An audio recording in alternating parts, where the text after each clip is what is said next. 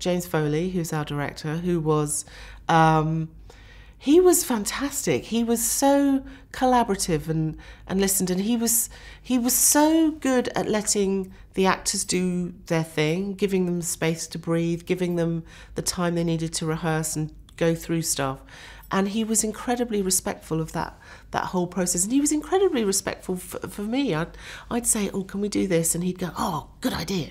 And he also was all about the the love affair. It's about their their love, and he he really got inside Christian as well. He was very very interested in in Christian psychology, which is also makes him an interesting character to everyone to read, everyone to see on on screen.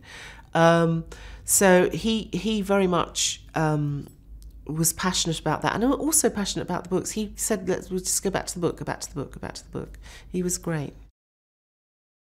So we leave off on Darker and leaving them in a happy place. There's a proposal, there's an acceptance of a proposal, and then we bang into the wedding, as it were. And uh, Nelson Coates created this beautiful um, wedding scenario, scene, what have you. And um, it was, it was, uh, that's where we begin our story.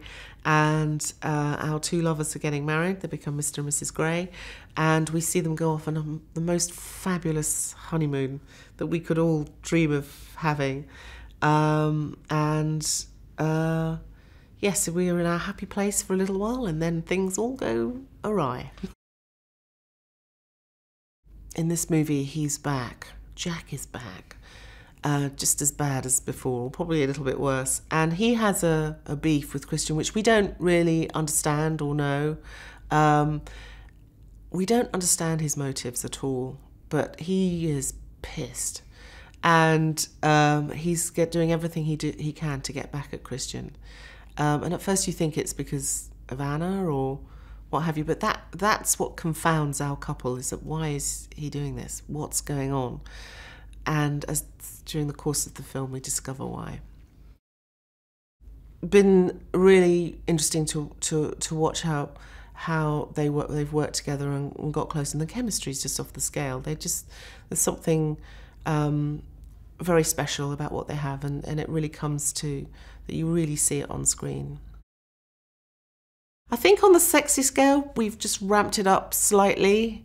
Um, and we've had a lot of fun with this one. And bless Jamie and Dakota for going through with it. Uh, there, yeah, it's um, you could get a little hot onto the collar watching these. Yes.